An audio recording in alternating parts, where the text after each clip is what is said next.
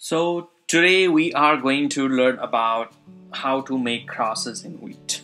First thing is I want you to ignore about the voiceover because this video was recorded in Nepalese and I'm voicing over this in English so it might look weird in some instances but let's just focus on technical aspect. So wheat is a self-pollinated crop that means it has a male and female part in the same flower so that has high chances to self-pollinate but we are doing crosses so we don't want that to happen. So first thing is we are removing the male part from the flower which is called the emasculation. So this is the wheat flower and it has a lot of spikelets and we are removing the bottom spikelets first. They are not mature enough. We are cutting that with a scissor. And uh, we are removing a floret from each spikelet. Uh, each spikelet has three florets and the center floret is not good for forming seed. They are not uh, they don't form the good seed so we are removing a center floret with the help of the forceps. And we are leaving two uh, florets there for the pollination to happen. So we're just blocking them out. So we finished the one row uh, completely from top down to the top and uh, we go on the other side of the flower.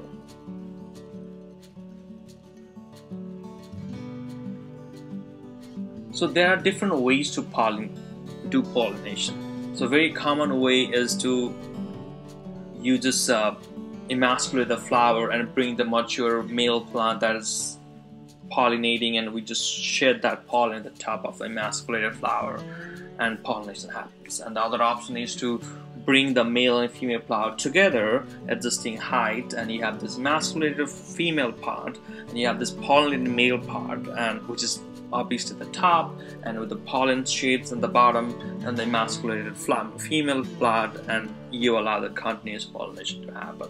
So that is the process that we're going to show in this video. So after you do that, you just twist the part, not the plant, and do the same process of removing the center floret uh, from the other side of the spikelets.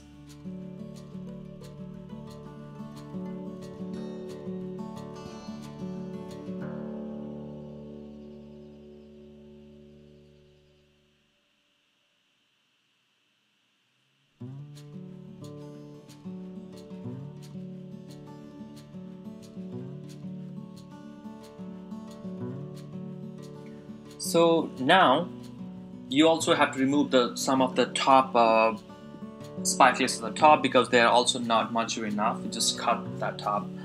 And uh, now we are cutting those uh, florets in a two-third. So the reason behind that is that will provide an easy path for pollen to uh, get inside the ovary and cause fertilization. So we are cutting those uh, two florets because we already removed the third center one and uh, cutting those two florets and the two third of the scissor.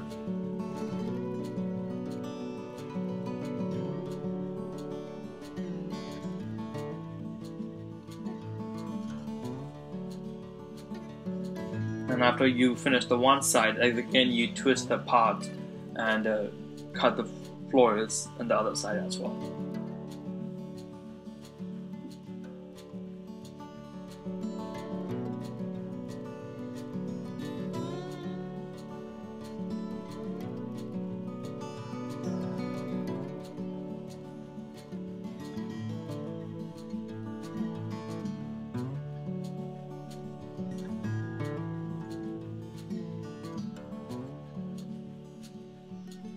So now you have this emasculated uh, female flower ready.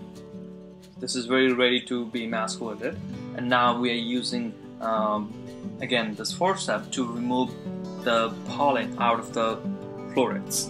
So we have two florets there in, in each spikelet and each floret has three pollen which you can it's hard to see here because the camera is not in focus but it, each floret has a three uh, pollen this is one two three and you make sure you remove all three of them because if you leave any of the pollen there it's gonna cause cell pollination and that's not our goal So from each uh, two florets, we get six uh, pollen and make sure everything's out.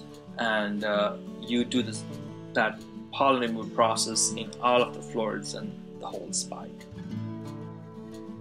So after you are done with emasculation, you let that female plant to be matured more?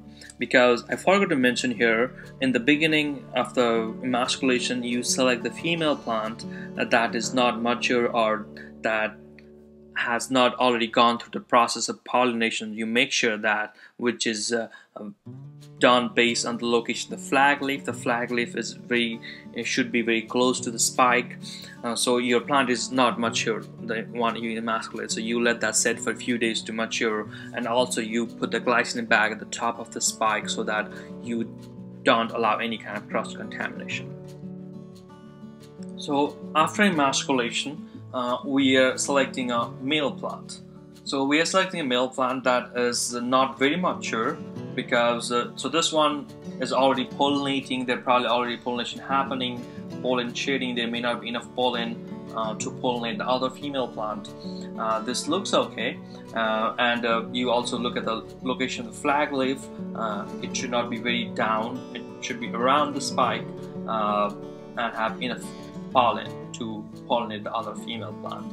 And also you have to adjust the height. The male has to go at the top uh, so that it can shed the pollen. The female has to go on the bottom so it can receive the shedding pollen from the top male plant.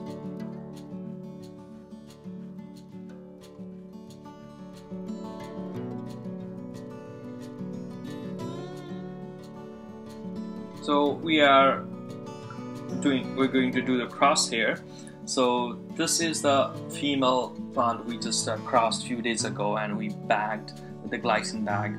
Um, so we let that sit for a few days. Now it's mature, ready, ready to receive pollen. And this is the male plant.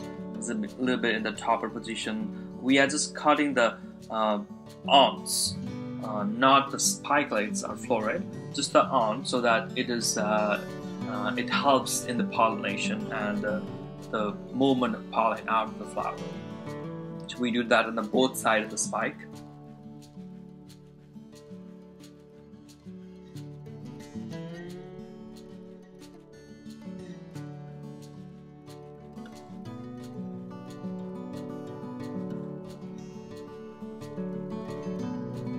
So after cleaning the, the male plant, that is removing the awn, we are removing the glassine bag from the female emasculated plant and we are going to bring that two male and female uh, plant together in close contact. And uh, so the height is the male is at the top it's going to shed the pollen and the emasculated female flower will receive the pollen and pollen is going to happen. And we put the, use the same glassine bag to to include both of the uh, spikes together. And uh, and tie them together.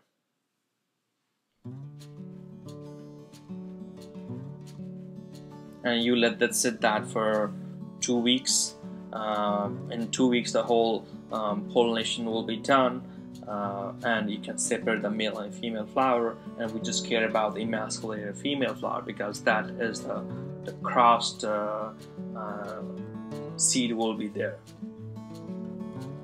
And uh, so the, the pollination happens more in the afternoon time so whenever uh, there's a lot of pollination happening sometimes you just come and just hit that bag so that it allows easy shedding of the pollen to the female plant.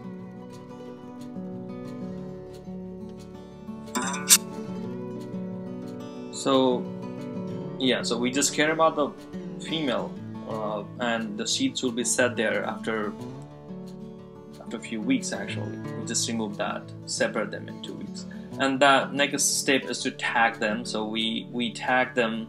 We write the, which is the male plant which is the female plant their sources and the date so that we know when we did make those crosses. Uh, and that helps to keep the record of all of the crosses we do here.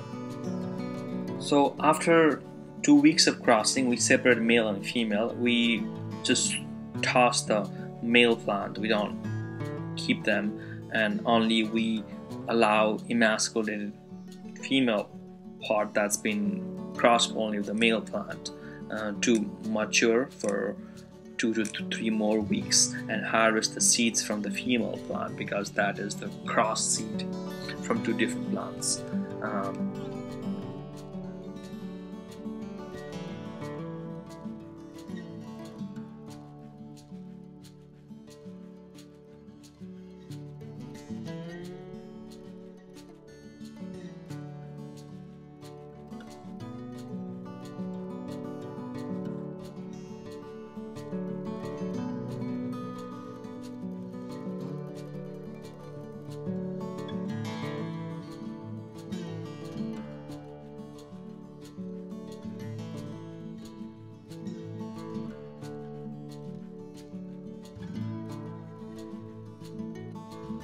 So we harvest the seeds from the female plant, like I said, we just cut the top with the scissor and bring them in the lab.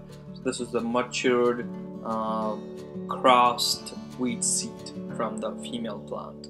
And generally it's 15-20 seeds um, per, per spike. Sometimes you get more also, it depends on um, the frequency of the pollination. Uh, and uh, we just harvest them manually from, and we take seeds out and they are definitely dry situation. And uh, we count them keep record how many seeds are formed. Uh, and after that we just put them in those uh, bags. And definitely we need to keep track of what are the parents uh, male and female sources and dates uh, and everything. And that's how we do to crossing here and the seeds will go in the field and we will evaluate their agronomic performances collect data on the disease um, the different physiological data yield uh, and and many kind of information will be collected